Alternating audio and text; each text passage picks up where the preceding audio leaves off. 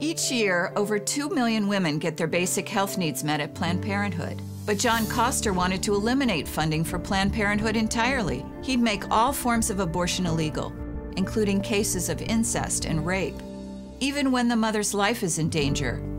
It really bothers me when politicians like John Koster tell women what they should do with their bodies. John Koster's just too extreme for me. The Democratic Congressional Campaign Committee is responsible for the content of this advertising.